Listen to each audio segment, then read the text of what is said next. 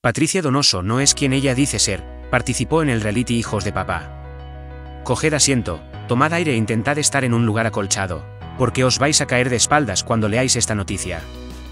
Porque sí, queridos, la mujer del momento, de la que todo el mundo habla, tiene un pasado en Mediaset de lo más impactante.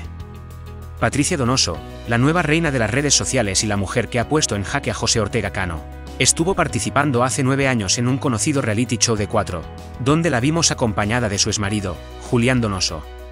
Hablamos de Hijos de Papá, aquel programa de televisión que presentaba Luján Argüelles, y en el que un grupo de ninis mimados tenían que dejar a un lado su vida de lujo, y glamour para bajarse al barro y trabajar como el que más.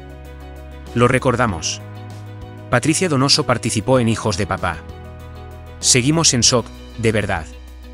No os podemos explicar lo que hemos sentido al ver cómo era la nueva reina de Telecinco hace una década. Para empezar, la que ahora se llama Patricia Donoso, era Jessie.e. Cuando participaba en el programa de 4. Sea cual sea vuestra opinión, no dudéis en comentar con total libertad, y si me acabas de descubrir, dame un buen like y suscribiros activando la campanita, y nos vemos en un próximo vídeo.